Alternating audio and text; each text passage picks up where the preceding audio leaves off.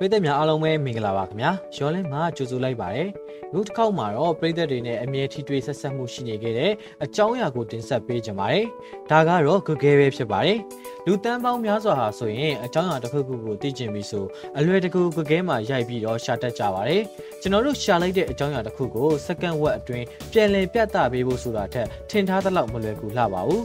ယခုကဲ့သို့ကျွန်တော်တို့ရှာလိုက်တဲ့အကြောင်းအရာတွေကိုအချိန်တိုအတွင်းပြသပေးဖို့အချိန်ပြည့်အလုပ်သမား1400နီးပါးခန့် Google ကခန့်အပ်ထားခဲ့ရပါတယ်။ Google ကို1998ခုနှစ်မှာ Stanford ကျောင်းသားနှစ်ယောက်ဖြစ်ကြတဲ့ Larry Page နဲ့ Sergey Brin တို့ကစတင်တည်ထောင်ခဲ့တာပဲဖြစ်ပါတယ်။ Google Congress လို့ခေါ်တဲ့ Google ဌာနချုပ်ဟာဆိုရင် Mountain View, California အမေရိကန်ပြည်ထောင်စုမှာရှိပါတယ်။နောက်ထပ်သင်မသိသေးတဲ့ Google ရဲ့စိတ်ဝင်စားစရာအကြောင်းအရာများကိုဆက်လက်တင်ဆက်ပေးသွားမှာဖြစ်တဲ့အတွက်ဗီဒီယိုလေးကိုအဆုံးထိကြည့်ပေးကြပါဦးခင်ဗျာ။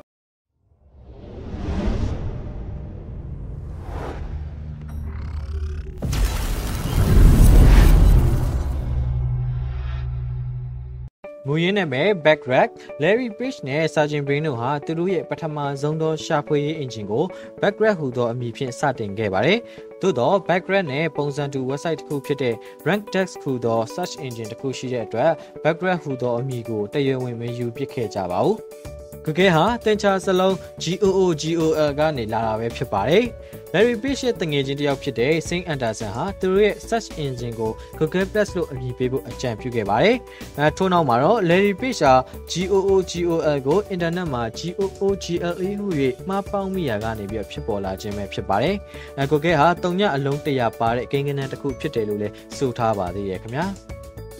I am feeling lucky ဆိုတဲ့စာသားလေးရှိတဲ့ www.google.com ကိုအရင်သွားရပါတယ်။ယနေ့ခေတ်မှာတော့၎င်းလိပ်စာထိသွားစရာမလိုတော့ပဲမိမိလိုချင်တဲ့အကြောင်းအရာကို search ဖောက်မှာအလွယ်ကူရှာဖွေလို့ရအောင်ပြုလုပ်ပေးထားပါတယ်။ရှာဖွေသူများကိုလည်းမိမိလိုချင်တဲ့အကြောင်းအရာကိုကြော်ညာ website များမဖြတ်ကျော်ရအောင်တစ်နှစ်ကိုဒေါ်လာတန်း100ခန့်အကုန်ကျခံထားခဲ့ပါတယ်။ဌာနချုပ်အတွင်းကမြက်တွေကိုရှင်းလင်းရန်စိတ်များကိုလည်းငှားရမ်းထားပါသေးတယ်။ ကိုကဲဟာပတ်ဝန်းကျင်စိမ့်လန်းစုပ်ပြရေးကိုအလေးထားတဲ့အပြင်ပေါ့နော်သူတို့ရဲ့ဌာနချုပ်အတွင်းမှာရှိတဲ့မြက်ခင်းတွေကိုလည်းရှင်းလင်းရန်အတွက်ပေါ့နော်ခင်မိတဲ့မြက်ရှင်းဆက်ကိရိယာများရှိတော်လည်းပဲစိတ်များကိုငှားရမ်းပြီးတော့မြက်များကိုစားစီခြင်းအပြင်၎င်းမြက်ခင်းပြင်ကိုရှင်းလင်းပါတယ်တပတ်လင်စိတ်အကောင်ရင်200ခန့်ကိုငှားရမ်းပြီးတော့မြက်ခင်းပြင်ကြီးကိုရှင်းလင်းရတယ်လို့လည်းသိရှိရပါတယ်ခင်ဗျာ ဂကဲမှာတစ်စက္ကန့်ကိုရှာဖွေသူပေါင်း2.3တန်းကျော်ရှိပါတယ်။2016စာရင်းဇယားများအရဂကဲ website တွင်ရှာဖွေသူပေါင်းတစ်လလင်ရှာဖွေမှုအကြိမ်ပေါင်း100ဘီလီယံရှိပြီးတော့တစ်စက္ကန့်လင်ပြန်မြ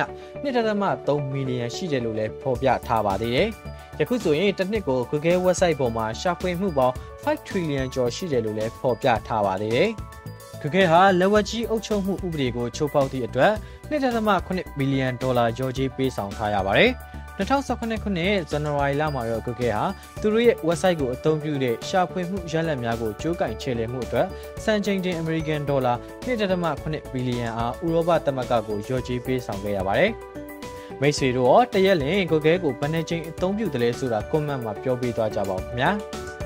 နောက်ဆုံးအနေနဲ့ဘုသူဒအဖြစ်ပြောပြပေးချင်တာကတော့2006ခုနှစ်မှာ Google ဟာ YouTube ကိုဝယ်ဖို့အတွက်ကယ်လီဖိုးနီးယားကစားသောက်ဆိုင်တစ်ခုမှာ YouTube, Yahoo နဲ့ Google ကအကြီးအကဲတွေကညှိနှိုင်းခဲ့ကြပါတယ်။ညှိနှိုင်းမှုဟာဆိုရင်ဖြင့်တပတ်အတွင်းမှာပဲအဆင်ပြေခဲ့ပြီး YouTube ကို1.65ဘီလီယံဒေါ်လာနဲ့အောင်မြင်စွာဝယ်ယူခဲ့ပါတယ်။ ရောလင့်ကိုကြည့်ရှုအားပေးခဲ့ကြတဲ့ပရိသတ်များခင်ဗျာဒီနေ့မှာတော့ကကဲအကြောင်းတည်ကောင်းစရာအချက်လက်များကိုဘ ഹു တုတရပွဲရာအဖြစ်တင်ဆက်ပေးလိုက်ပါတယ်ကြည့်ရှုအားပေးနေကြတဲ့ပရိသတ်များကလည်းကျွန်တော်တို့ရဲ့ရောလင့် entertainment ကအစီအစဉ်တွေကိုကြိုက်နှစ်သက်တဲ့ဆိုရင် like and share လေးပြုလုပ်ပေးသွားကြပါဦးခင်ဗျာဒီနေ့မှာကြည့်ရှုပေးခဲ့ကြတဲ့ပရိသတ်များအားလုံးကိုကျေးဇူးအထူးပဲတင်ရှိပါတယ်ခင်ဗျာ